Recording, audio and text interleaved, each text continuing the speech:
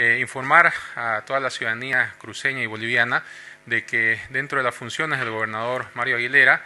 hemos propuesto al presidente de la Asamblea Legislativa Plurinacional, a la Cámara de Diputados, a la Cámara de Senadores, a través de sus presidentes, también a los presidentes de las bancadas de, los diferentes, de las diferentes organizaciones y fuerzas políticas que trabajan en el Parlamento, que tienen representación política, eh, diferentes proyectos de ley referidos a este tema tan delicado como son los incendios forestales, el desastre, la emergencia por la que hemos pasado y venimos pasando no solamente este año, sino todos los años, pero que este año ha sido de forma catastrófica. Hemos planteado desde la gobernación, ya se lo viene diciendo al presidente del Estado en las diferentes reuniones, pero también de manera documentada,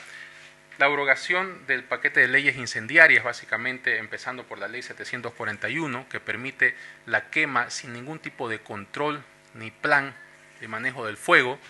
de 20 hectáreas por persona. Esta es la ley que en el año 2015 el presidente Evo Morales fijó una línea de utilización indiscriminada e irracional del fuego y que dio una señal a los diferentes avasalladores, llámese interculturales o de cualquier naturaleza, de que pueden ir por nuestro territorio nacional, fundamentalmente el territorio cruceño, ir prendiendo fuego sin ningún control ni ninguna consecuencia. Esto es la señal que debe cortarse debemos cortar esa señal, esa idea que tiene esta gente de ir a sentarse en nuestros bosques, de ir a acertarse en tierras fiscales fundamentalmente y prenderle fuego para después lograr el cambio de uso del suelo y quizá la aprobación de un asentamiento humano por el INRA y finalmente la dotación de tierras fiscales. Entonces nosotros hemos pedido de manera formal y hemos adjuntado el proyecto de ley que le pide al presidente y a la Asamblea Legislativa del Estado que se abroguen esas leyes incendiarias y además también que se endurezcan las penas a través de la modificación del Código Penal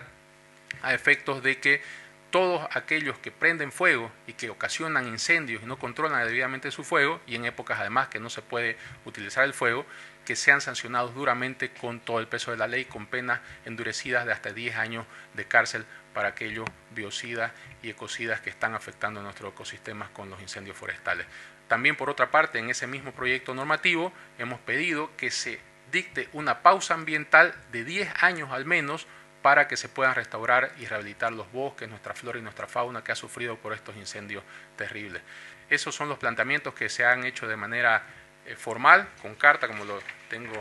aquí